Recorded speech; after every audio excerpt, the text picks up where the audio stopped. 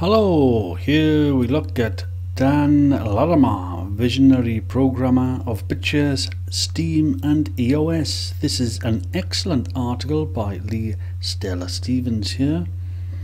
And this goes on to show all about Dan Larimer and what he's set up.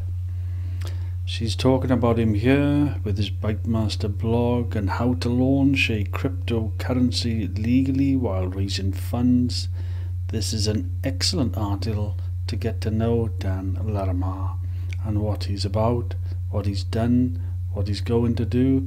Here's an, another article about Dan Larimer and Vitalik Buterin at the North American Bitcoin Conference.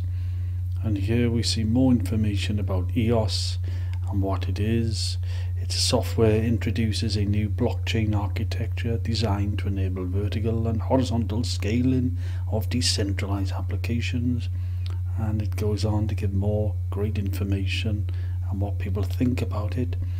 And we look at his blog here, how to raise uh, funds for a cryptocurrency while here we are, thousands of startups are entering the cryptocurrency space and attempting to determine how their business model meshes with the numerous edicts handed down to us by unelected bureaucrats at numerous government agencies such as the IRS, FinCEN, and the SEC, to list three agencies just in the United States.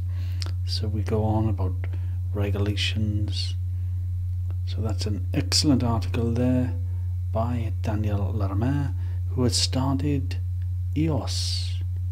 Thank you for watching. On to the next lesson.